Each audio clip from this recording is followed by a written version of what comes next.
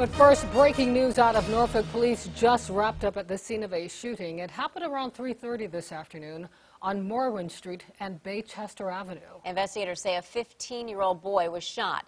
Medics rushed him to the hospital with life-threatening injuries. Look for updates on air and online to this breaking story.